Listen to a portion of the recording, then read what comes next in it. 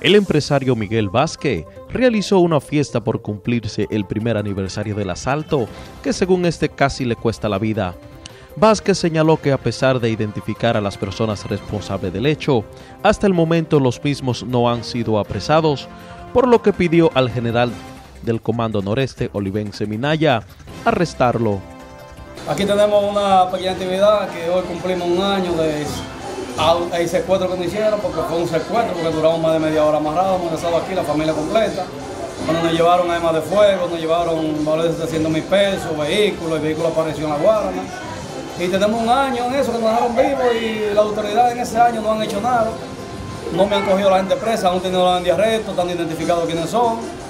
Y nada, esperando aquí a ver si con esto ellos por lo menos hacen algo, porque nos dejaron vivos esa vez hace un año ya hoy queremos respuesta. Uno como empresario de aquí, uno necesita respuesta que le den a uno para uno estar, tranquilo en la ciudad.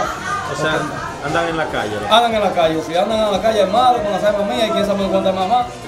Y están identificados con nombre, orden de arresto y todo eso, saben dónde viven y ni siquiera lo han arrestado a, un año del atraco que me hicieron. ¿Cuál es el nombre de esa persona? Los nombres son tres. Eh, Vicente Polanco, alias Tío, tengo foto de él. Anderson Peña, Anderson Peña y alias Callao y Israel Rosario en Racumín son los nombres de las 30 que andan en la calle. ¿De dónde son? De Vitevalle y Camino en Medio.